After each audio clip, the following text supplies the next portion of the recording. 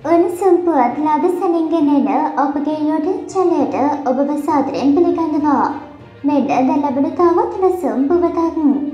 කොළඹ ජාතික රෝහලේ දැඩි සත්කාර ඒකකයේ දින 500කට වැඩි කාලයක් තිස්සේ රඳවා සිටින ප්‍රවීණ රංගන ශිල්පී ජැක්සන් ඇන්තනි සම්බන්ධයෙන් තීන්දුවක් ගැනීමට රෝහල් බලධාරීන් සූදානම් වෙයි.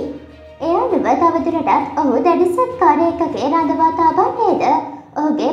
පෞද්ගලික රෝහලකට නිවාසයකට ගෙන ගොස් ප්‍රතිකාර ලාබාදීමට නිර්දේශ කරන්නේද යන්න පිළිබඳවයි.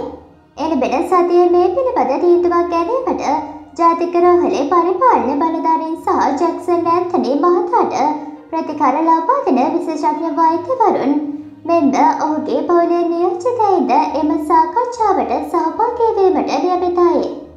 මෙවැරුණි සම්පුවත් ලාද සැනින් දැනගැනීම සඳහා අපගේ YouTube චැනලය සබස්ක්‍රයිබ් කර බෙල් අයිකනය ක්‍රියාත්මක කරන්න.